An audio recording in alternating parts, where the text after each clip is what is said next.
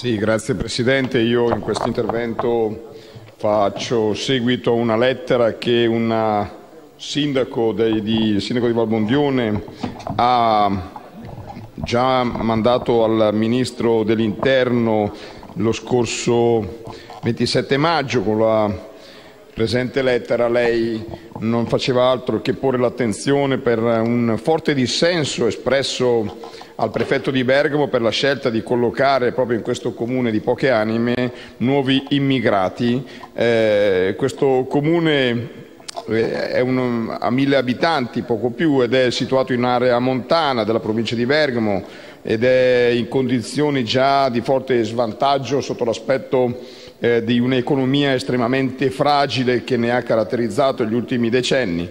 E, eh, il prefetto ha comunicato al sindaco che verranno eh, messe a disposizione da privati eh, tre case eh, vacanze per un totale di circa 150 posti liberi.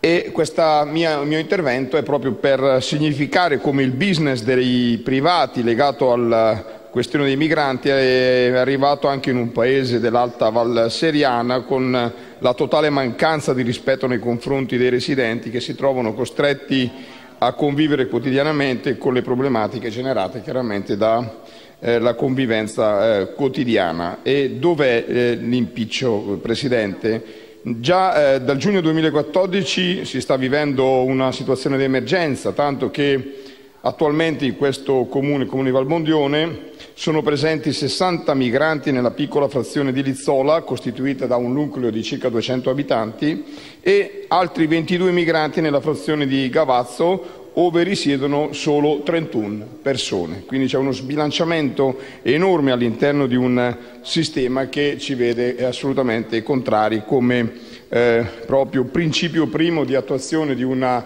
eh, sistema di accoglienza diffusa che diffusa è solamente sulla carta. Poi mi chiedo, signor Presidente, se eh, eh, dov'è l'integrazione, se questi giovanotti che bighellonano tutto il giorno, fanno parte di un programma serio di inserimento, se il lavoro è qualcosa di eh, importante per l'integrazione, se la scuola è qualcosa di importante per l'integrazione, credo che siamo completamente fuori strada. Ha fatto bene il sindaco, ma questo sindaco rappresenta probabilmente anche l'idea che una serie di soggetti che fanno amministrazione con passione eh, potrebbero scrivere al Ministro degli Interni per denunciare un po' queste situazioni. Se ne arrivano 2.000 al giorno, io non so,